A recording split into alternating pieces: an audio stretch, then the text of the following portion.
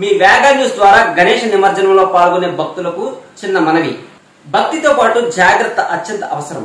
కాబట్టి నవరాత్రులు స్వామివారిని అత్యంత నిష్ఠాభక్తులతో కొలిచి స్వామివారి నిమజ్జనం వేడుకల్లో ఎలాంటి అవాంఛనీయ సంఘటనలు జరగకుండా అత్యంత జాగ్రత్త అప్రమత్తతతో వినాయక నిమజ్జనాలు జరిపి ఆనందంగా స్వామివారి ఆశీస్సులతో ఇంటికి తిరిగి వెళ్ళాలని సరదాతో పాటు జాగ్రత్త కూడా అవసరమని తెలియజేస్తూ మీ వేగ న్యూస్ శ్యాంప్రసాద్.